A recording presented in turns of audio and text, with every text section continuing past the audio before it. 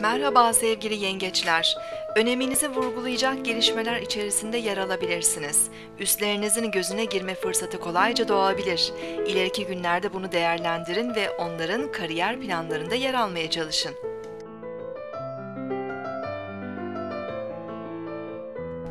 Bugün 25 Mayıs 2014 Pazar, Güneş günündeyiz.